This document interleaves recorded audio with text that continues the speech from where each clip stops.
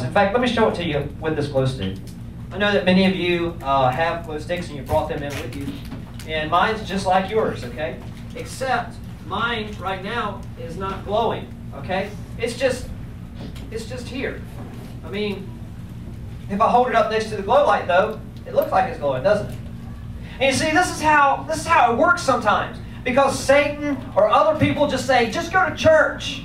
Just read your Bible or just pray. And you think, oh, well, if I do that, if I just go to church, then that makes me a Christian. Or if I just pray, that makes me a Christian. Or if I just read my Bible, that makes me a Christian. And we think, oh, wow, you know, I'm glowing in the dark. Wow, I come to church. I read my Bible. I go to youth group. I must be a Christian. Or my parents. Well, they did all this stuff. My parents pray. My parents make me read my Bible. My parents make me, you know, go to church. That makes me a Christian. But I'm going to tell you, it doesn't make you a Christian because look, let's just say that this light represents God. Because the Bible says that God is light and in Him there is no darkness at all. So God is always light. And so this glow stick, apart from God, it's not glowing, right? But just because you get close to God, it doesn't mean that you're a Christian. And so many people think, oh, I get close to God. I come to church. I sing songs. I listen to good music. I don't say any bad words, or I don't watch those kind of movies, or I don't do this. I don't dress that way, or I don't look that way, or I don't talk that way. And so that means I'm a Christian, or I'm a good person. But I'm going to tell you, that doesn't make you a Christian.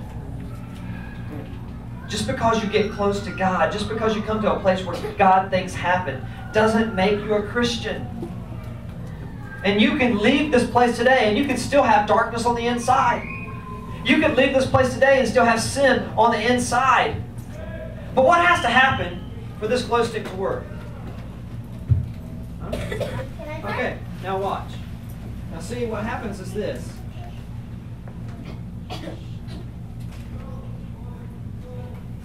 This glow stick, and you all y'all just said it really clearly that all you have to do is break it. But but why do I have to break it? What's what's on the inside of this? No, it's not toxic. Okay, there's a little piece of glass that, that's encapsulating another chemical, right? It's encapsulating something that, that once it's broken, it activates with the other stuff on the inside and causes it to glow. Let me just let me just tell you that this is a picture of us as, as human beings. That on the inside of us, we all have the capacity to shine. In fact, Jesus, when he was here on the planet, he said, You are the light of the world. He said, Don't let your light be hidden. He says, You can shine in the midst of darkness. You can shine as brightly as a star in the midst of darkness. But what has to happen is this is that God has to be activated in our hearts. God's light has to invade our darkness. You see, we all have the capacity to hold God inside of us. We have a, a void or a place inside of us that's only shaped for God. And the Bible says this that when we are broken, when we have a broken and contrite spirit, when we have a broken heart over our sin, and we say, God, you know, you're right. I've done things that are wrong. I have sinned. I've, I've you know, been mad and, and ugly to my brother or sister. I have disobeyed my parents. I have done all of these things, and I am really sorry for it. And look at what happens. The Bible says that when we're broken, watch. And just like that, did you see how quickly the light invaded that? It was like instantaneous. It wasn't like it, you know, it wasn't like, oh, I had to pray and then I gotta wait for God to come. No, it's just like that. When you pray and you say, God, forgive me. God, I am a sinner. God, I have done wrong things. God, I have been ugly. I have been unkind. In fact, God, I've just been playing around. I don't really know you. I just come to church. Or I don't really know you. I just do good things. But God, I want to know you. God, I don't want to be separated from you. The Bible says this that when we come to God and we are broken over our sin and we say, God, I understand that I have done wrong.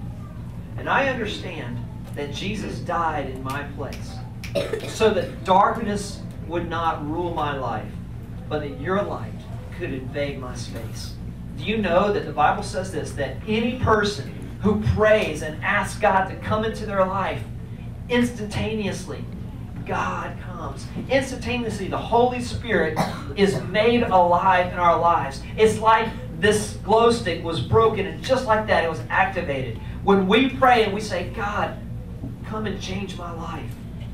God, I mean it. I'm serious. I want to follow you. God, I want my life to shine for you. The Bible says this that anyone who is a new who is in Christ is a new creation.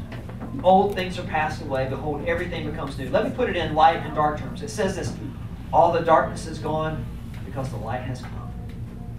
The Bible says that God is light, and in Him there is no darkness at all. And so, even when we do a, a thing like this, we do it because we want you to understand that God is a light in the midst of darkness. And He wants you to be lights in the midst of darkness. You know why? Because you might be the only light that somebody else sees. You might be the only light that someone else can see.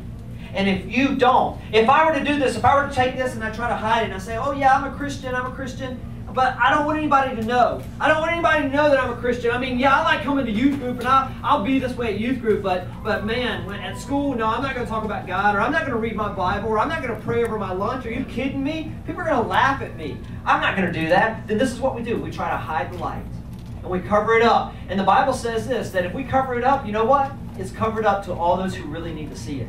It's covered up to all the other people who are in darkness who are looking for light, but they can't find light because you as a Christian, you try to hide it. Now watch this. If I just take my hand off, wow, that's amazing. Look at how bright that is. But you know, we can cover it up. And some of us, some of you guys, some of you have already been Christians. You've been Christians for a while and you prayed to ask Jesus maybe last year or two years ago, but you haven't been living right. I've done so, it three times already. Wow. Well then. I've done it when I was five. Okay. Well, good. That's great. That's great. And you know what? Maybe you did do it then. But I'm going to ask you this Are you living right? Just because you asked Jesus into your life doesn't mean that you're living right. Doesn't mean that, that you've given him full control of your life because some of you, this week, your attitude has been horrible. Some of you, this week, you've been ugly to your friends, ugly to your parents. Some of you this week have been that way. And this is exactly what you've done. You've covered it up. You, oh, I'm going to heaven, but yeah, I'm not going to live for Jesus now. I'm going to tell you this Jesus didn't die just so you can go to heaven. Jesus died so that you can be light on the earth. And so I'm going to ask you have you ever done that? Have you ever said, Lord, I want to be light on this planet? God, I need to be light in the midst of darkness because you know what? If you don't, if you're not the light, who's going to be the light? It's not, it's not your friend's responsibility. It's not your teacher's responsibility. It's not my responsibility. I'm not going to meet your friends. I'm not going to go to school with your friends. But every day, your friends see you. Every day, your brothers and sisters, your parents, they see you. And you're either shining like this or you're covering it up. Or maybe there's no light in you at all. And so I'm going to ask you is there light in you? Uh, you don't have to answer it out loud. You don't have to answer it. I just want you to think deep, deep in your heart. Is there light in me? Have I really, when I when I prayed and asked Jesus to forgive me, did I really mean it, or was I just doing it because, well, it's just what everybody did? Look, I don't want you to do something just because I'm telling you it's a good thing. I want you to do it because you understand, man, this is what I need to do. This is this is right. I need to live for Jesus. And look, if you're not in a place where you're ready to do that, that's okay. You don't have to do it.